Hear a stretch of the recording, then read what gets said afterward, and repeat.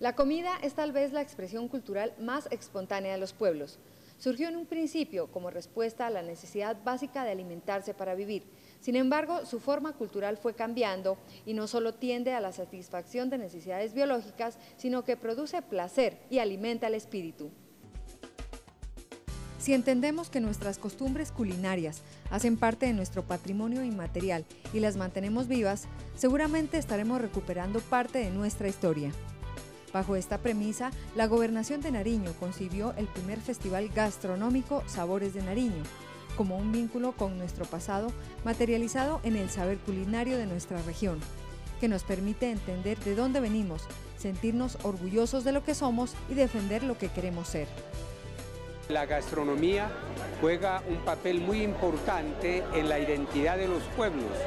A veces eh, los pueblos se distinguen internacionalmente por su comida. Uno habla de la comida francesa, la comida española, aquí en nuestro país de la comida costeña, la comida antioqueña, pero la comida pastusa, la comida nariñense, digamos mejor, es una de las más ricas y variadas del país y debe servir como un punto de apoyo, como un componente más en ese gran proyecto de desarrollo turístico. Con la presencia del embajador de la República Bolivariana de Venezuela, se desarrolló en San Juan de Pasto este primer festival gastronómico en donde el país hermano fue el invitado de honor.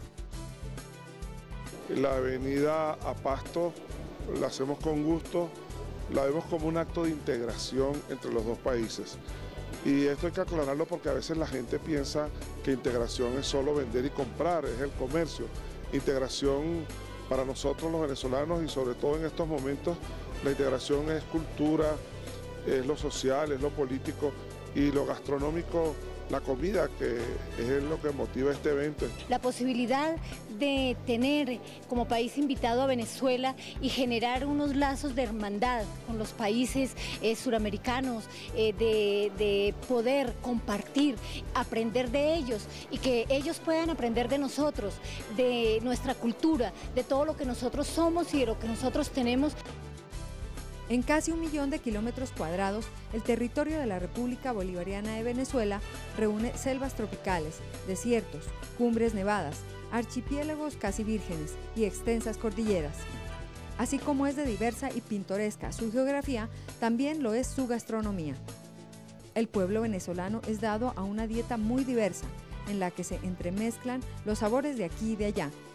Todo esto acompañado por la calidez de los venezolanos.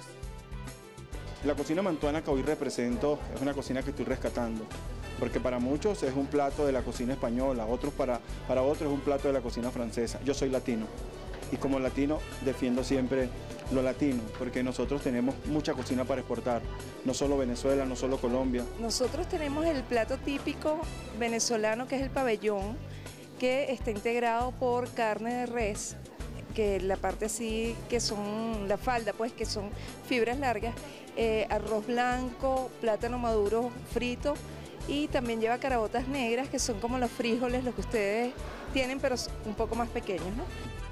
En la recientemente construida área del Museo de Artes y Tradiciones Populares, Casona Taminango, se llevó a cabo durante tres días y con lleno total una programación en donde la música y la degustación de las muestras de nuestra gastronomía, como el locro y frito pastuso, el cuy, el hornado y las empanadas, estuvieron a la orden del día. El público de Nariño y de Pasto respondió a las expectativas que se tenían Realmente se lograron vender absolutamente todos los platos que se trajeron de la costa pacífica y los platos programados en la sierra fueron consumidos por toda nuestra ciudadanía. Un espacio preferencial lo ocuparon los más exquisitos platos de la costa, como el encocado y ceviche de piangua, el pusandao, el salmonete, el carapacho de cangrejo y la mazamorra tumaqueña, preparados en forma exclusiva por nuestra querida gente del litoral. De verdad que quedamos satisfechos, se nota que ha sido un éxito para mucha gente porque se agotaron varias cosas y de verdad que ahí se nota que en Nariño hay muchas cosas buenas y que se pueden hacer actividades excelentes.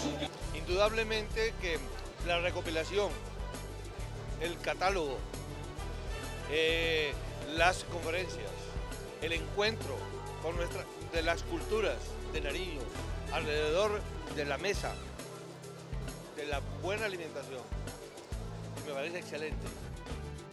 El primer festival gastronómico Sabores de Nariño abrió un espacio interesante de conferencias que tuvo como invitados especiales al médico payanés Carlos Arturo Erazo, al antropólogo paisa Julián Estrada y por supuesto a Carlos Soto, el chef internacional invitado de la República Bolivariana de Venezuela.